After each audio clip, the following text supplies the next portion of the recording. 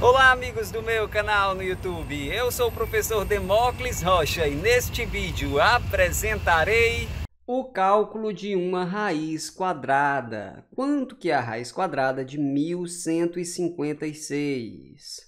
Se você apoia esta iniciativa, já deixe o seu like. Se quiser ficar sabendo sempre que a gente lançar um novo vídeo por aqui, inscreva-se no canal e acione o sininho das notificações. Vamos lá! Para calcular a raiz quadrada de 1156, basta determinar um número positivo que, multiplicado por ele mesmo, dê como resultado 1156. Talvez você diga, professor, mas eu não sei qual é esse número positivo que, multiplicado por ele mesmo, dá 1156. O que é que eu faço? Você pode fazer tentativas. Por exemplo, você não sabe qual o número positivo que vezes ele mesmo dá 1156. Mas você sabe que 10 vezes 10 quanto que dá? Ah, professor, aí é fácil. 10 vezes 10 é igual a 100. Exatamente. Aí eu te pergunto, o número que nós estamos procurando vai ser maior ou menor do que 10? Professor, deve ser maior do que 10. 10 vezes 10 é apenas 100. Ok, vamos fazer outro teste. Quanto que dá 20 vezes 20? Olha, é muito fácil. Como 2 vezes 2 é 4, basta escrever o 4 aqui, aí coloca esses dois zerinhos aqui. A gente pode dizer que 20 vezes 20 é igual a 400. Professor, então 20 ainda é pouco. Eu quero um número positivo que multiplicado por ele mesmo dê 1156. 20 é pouco, né? E quanto que dá 30 vezes 30? Basta usar a mesma lógica. Como 3 vezes 3 é 9, eu escrevo 9 aqui, aí eu escrevo esses dois zerinhos do lado. Portanto, eu posso dizer que 30 vezes 30 é igual a 900. Já está bem mais perto de 1156, né? Vamos fazer mais um teste. Quanto que dá 40 vezes 40? Como 4 vezes 4 é 16, eu escrevo 16 aqui, aí eu coloco esses dois zerinhos do lado. Portanto, 40 vezes 40 é 1.600. Espera aí, professor. 1.600 já é maior que 1.156. O que, que isso significa? Isso significa que o número que nós estamos procurando é maior do que 30, já que 30 vezes 30 é apenas 900, e é menor do que 40, já que 40 vezes 40 dá 1.600, que passa de 1.156. Por outro lado, como 1156 é mais próximo de 900 do que de 1600, a gente pode concluir que o número que nós estamos procurando é mais próximo de 30 do que de 40. Concorda comigo? 1156 é apenas 256 unidades a mais que 900. Porém, de 1156 para chegar em 1600, aí faltam mais de 400 unidades. A conclusão é que 1156 é mais próximo de 900 do que de 1600. Logo, o número que nós estamos procurando é mais próximo de 30 do que de 40. Isso sugere para a gente que a gente teste os números 31, 32, 33, 34. Mas qual desses eu vou testar primeiro? Olha, eu vou testar primeiro o 34. Por que, professor?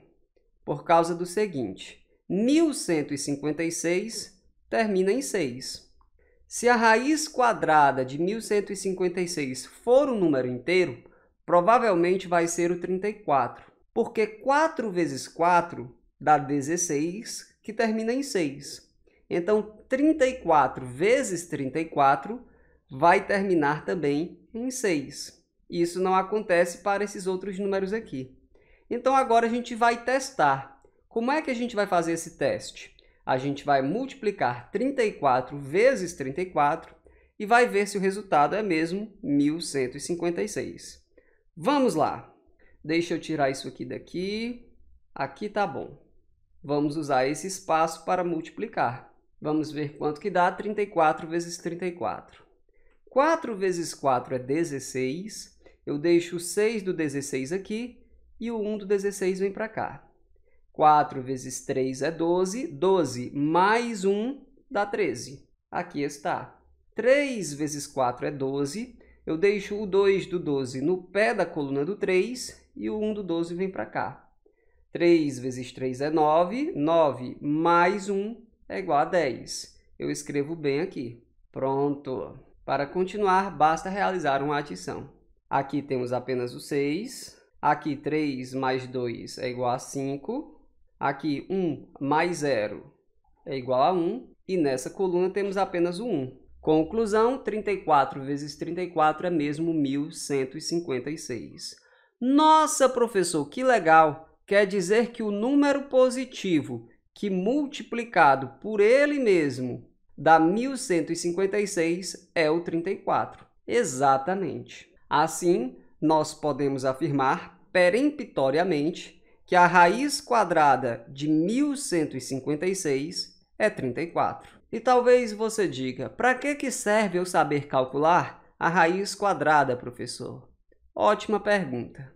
Imagine que um quadrado tem uma área de 1.156 metros quadrados. Como a raiz quadrada de 1.156 é 34, a gente pode afirmar que cada lado deste quadrado mede 34 metros.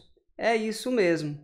Como a raiz quadrada de 1156 é 34, então se um quadrado tem uma área de 1156 metros quadrados, cada um de seus lados mede 34 metros. Professor, então, conhecendo a medida da área de um quadrado, para calcular quanto que mede cada um de seus lados, basta calcular a raiz quadrada da medida da área, né? Exatamente. A raiz quadrada da medida da área vai te fornecer a medida de cada um dos lados do quadrado. Isso acontece porque um quadrado é um caso particular de retângulo. Para calcular a área de um retângulo, você multiplica base vezes a altura. Só que no caso do quadrado, a base e a altura têm a mesma medida. Então você acaba tendo que determinar um número positivo que multiplicado por ele mesmo dá aquele lá. Isso é equivalente a calcular uma raiz quadrada. Nossa, professor, que legal! Que bom que você gostou. Se esse vídeo te ajudou mesmo, deixe um comentário com uma carinha sorrindo, eu vou gostar de ver. Se você quiser continuar praticando, que tal você calcular a raiz quadrada de 1444? Quanto que dá? Se você conseguir resolver, deixe um comentário com a resposta, eu vou gostar de ver. A gente fica por aqui. Um abraço e até a próxima. Tchau!